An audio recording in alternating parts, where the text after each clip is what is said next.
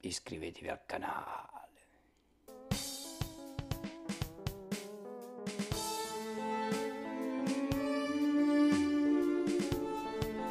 Allora, questo sabato lo dedichiamo naturalmente alla giornata della memoria. Io avevo già portato no, il fumetto, il, il fumetto che eh, capolavoro, insomma, che, che rappresenta quel, quel, periodo storico lì, che mm, naturalmente Mouse, poi magari vi metterò il link di, di, di quest'opera.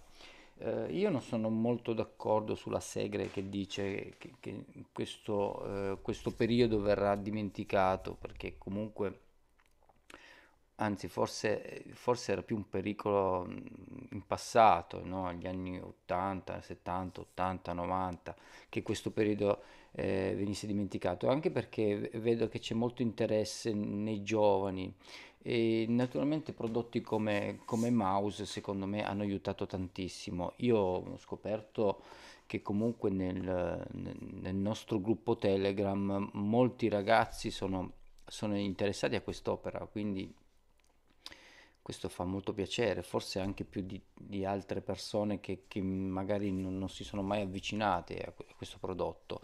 È un, è un fumetto mh, di Art Spiegelman, Spiegelman eh, questo è il volume eh, brossurato, insomma eh, poteva, poteva, insomma andate a vedervi il video e ho fatto anche una recensione su, su, cosa, su come sono, sono fatti, no? un brossurato normale, si poteva benissimo per quest'opera eh, fare una rilegatura a filo, poi darò un'occhiata, insomma, mh, 30 anni, l'unica cosa positiva è questo, eh, questo cofanetto, come vi dicevo già questi cofanetti secondo me sono molto più belli di, di metterli in plastica e, e, questo qua sicuramente è uno dei cofanetti molto resistenti, cioè una struttura molto eh, bella massiccia no? dove puoi mettere questi volumi, forse per quello non, la, non, li hanno fatti a filo, però qua abbiamo le due cop- copertine originali, è un fumetto, insomma non vi sto qua a raccontare eh, cosa, cosa si prova chi lo ha letto eh, sa insomma, che, che, è un fumetto, che è più di un fumetto, no? Eh, strano che non, non, ci abbiano fatto un, un film dedicato, no? eh, i, i, disegni all'interno sono un, un, po', un, po', particolari, nel senso che mh, molti abituati a vedere a, a, vedere eh, alcuni tratti, no? soprattutto nei manga, potrebbe essere spiazzato. Ho già sentito qualcuno che diceva che, che insomma eh, non l'avrebbe mai letto perché i disegni eh, sono brutti.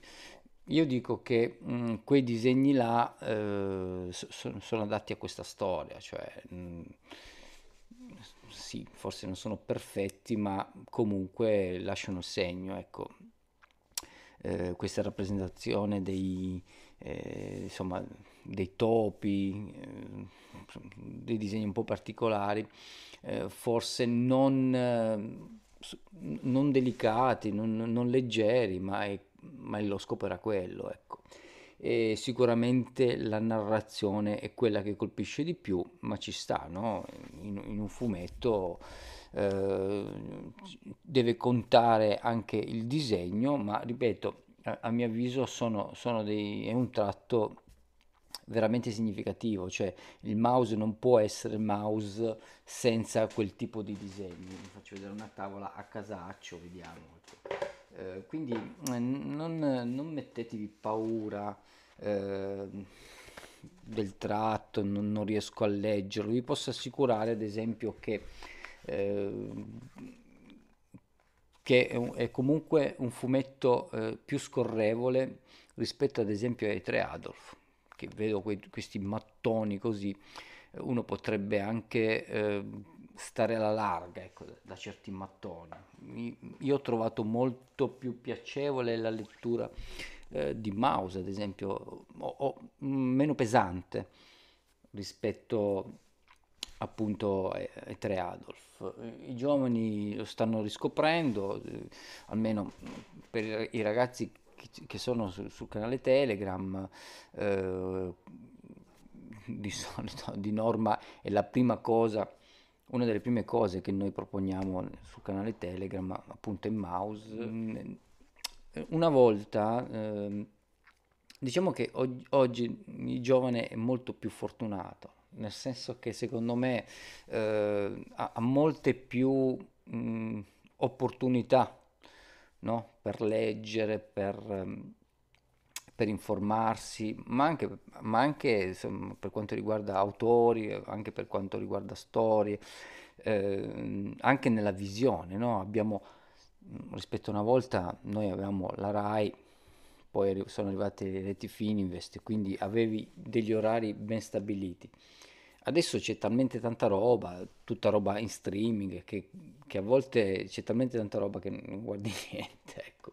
Una volta ci si ritrovava in un determinato orario per guardare una serie tv, e quindi oggi è, mo- molto più semplice, non, non, solo molto più semplice, è anche molto più bello, cioè, nel senso si sceglie una serie tv, la si guarda quando si vuole, a qualsiasi orario e si fanno anche delle belle maratone, cosa che una volta difficilmente si poteva fare, cioè veramente mh, prendere un, un, ragazzo e mh, scaraventarlo, ma anche già solo negli anni, primi anni 90 dove c'è ancora la videocassetta, eh, sì, forse, ecco, forse noi lo apprezziamo di più proprio perché non, non, non avevamo eh, quella fortuna là. Mm, anche per quanto riguarda appunto questa giornata della memoria, eh, c'erano i documentari, c'era, c'era insomma, però bisognava aspettare il momento, ecco. Eh, anch'io sono un appassionato di, di, queste guerre del passato, le storie della seconda guerra mondiale, la storia dell'impero romano, ma quando ho iniziato a scegliere, eh, diciamo così, cosa guardare, no? mi andava ad informarmi, andavo su YouTube nel 2007-2008 e avevo la possibilità di informarmi, di crearmi una playlist di, di queste cose. Diciamo che mi sono più informato dopo gli anni scolastici, era tutto molto più difficile, no? non c'era Wikipedia, quindi bisognava spendere eh, milioni di lire, a volte 2 milioni, 3 milioni, per, per prendere una enciclopedia che rimaneva lì molto bella, ma oggigiorno praticamente inutile.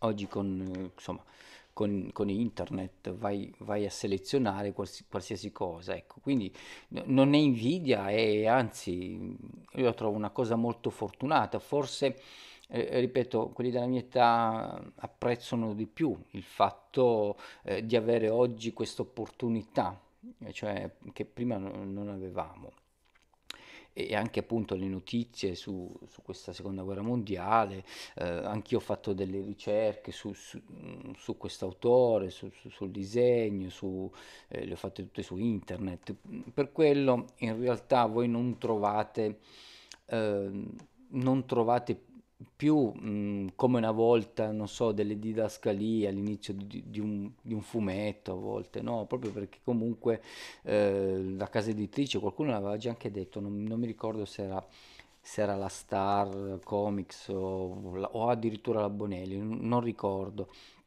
Che, che, che, ormai non, non si mettono più no? le rubriche eh, oppure lo spiegozzo su alcune cose come si faceva una volta. Io tro- trovo ancora molto carino queste cose, chi lo fa eh, non si fa più pro- proprio perché appunto si mette solo fumetto per il semplice motivo che vai su internet e insomma sai tutto sull'autore, sulla storia, sul disegno, eccetera, eccetera. Ecco, eh, questa, insomma, mh, mm, questo sabato lo finiamo qua giornata della memoria andatevi a vedere il video ho fatto la recensione sia del fumetto e poi eh, ne, nella playlist eh, su, su, come mh, mm, è strutturato l'opera eh, metto tutti due link e, e niente insomma ecco.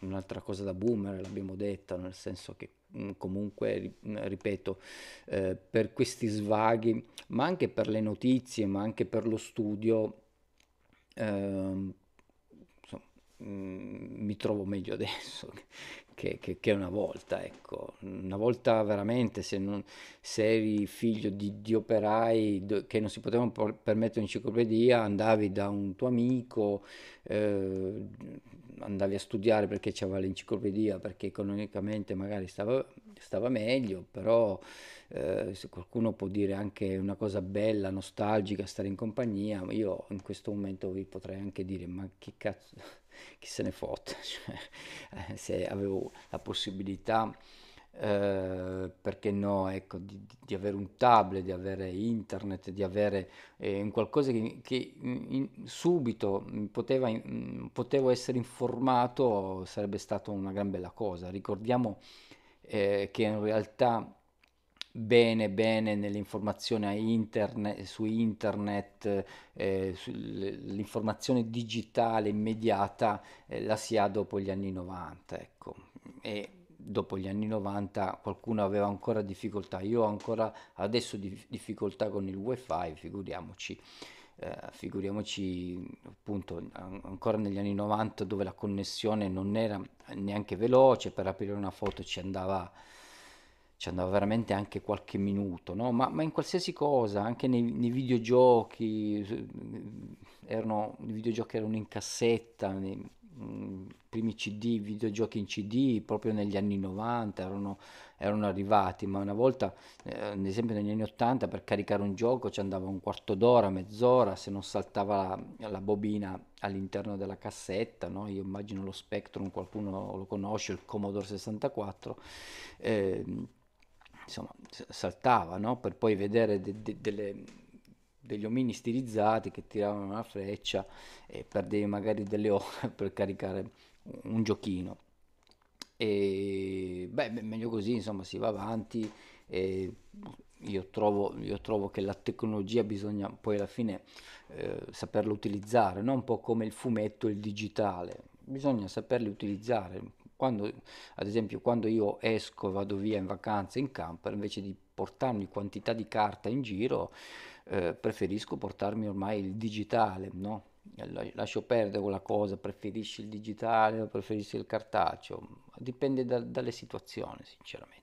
Okay? Mi rivolgo soprattutto ai boomer come me, come la, vorrei sapere da loro come la pensano eh, se preferivano prima o dopo, io in questo ambito, ripeto, continuo a dire che preferisco adesso eh, perché mi basta un click e per quanto riguarda i giovani, insomma, meditate un attimino su questa cosa, provate a pensare, eh, a pensare a non avere internet e dover fare solo e soltanto ricerche, andare alla ricerca di, di un libro, eh, non mi venite a dire era più bello la ricerca, questi sono pipponi che ci facciamo noi e quindi cercate di essere giovani, andare avanti e usufruire di, di quello che, eh, che c'è di positivo in queste innovazioni. Ok, ciao alla prossima.